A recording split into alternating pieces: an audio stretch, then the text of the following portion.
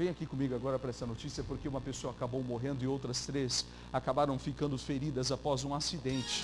Acidente que envolveu duas motocicletas lá na cidade de Juína.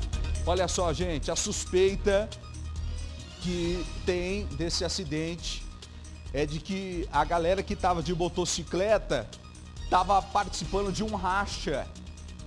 O repórter Amadeus Alves tem informações, tem os detalhes na tela do Balanço Geral. Vamos lá. Nós estamos no setor industrial, estrada que dá acesso ao IFMT. Acidente envolvendo duas motocicletas com uma vítima fatal. A Polícia Militar isolou o local, a Polícia Civil já se faz presente e a Politec. A vítima se encontra ao solo, aguardando aí os trabalhos periciais para a liberação do corpo. O SAMU foi acionado, prestando socorro às três vítimas e constatando o óbito de Gesiel Andrade, conhecido como G. De fato, assim, é uma, foi uma cena muito forte para a equipe, porque tratava-se de uh, quatro vítimas jovens, adolescentes, né? É uma cena realmente impactante, muito sangue, né? As motos da posição que estavam e jovens como consequência, né?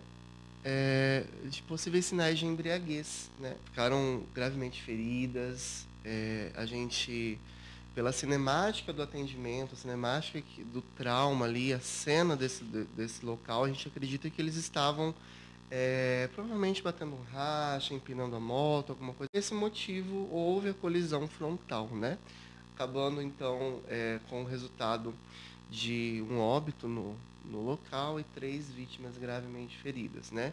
Sendo dessas vítimas três é, de sexo masculino e uma pessoa do sexo feminino.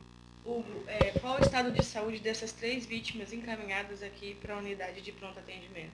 Olha, é, são pacientes, né, vítimas de gravidade considerável, né?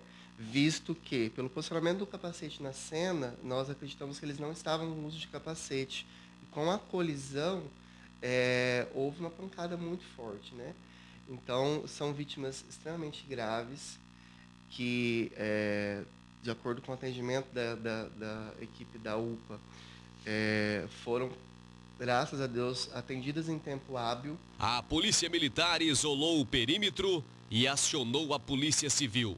A Politec realizou os trabalhos periciais que vão trazer elementos para desvendar o acidente.